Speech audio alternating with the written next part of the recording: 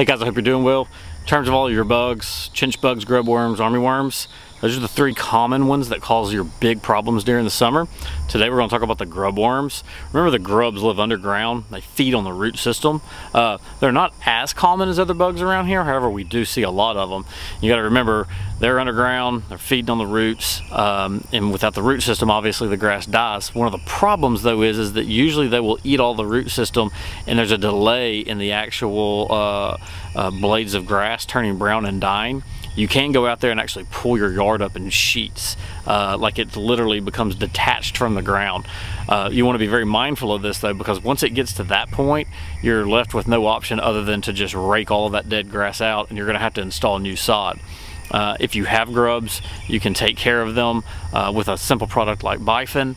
Um, there's a couple of other things out there. Uh, we really recommend a, a, liquid on these just because these, uh, they tend to live deeper in the soil, so it's harder to get to them. And then maybe as we get some rain or if you're overwatering, they'll come to the surface and feed on those roots. So it can be a little trickier. They're not as common, but they are a problem around here and you do want to stay on top of it. So if you need any suggestions, uh, need any recommendations, feel free to reach out to us. Other than that, we look forward to hearing from you. Y'all have a good day.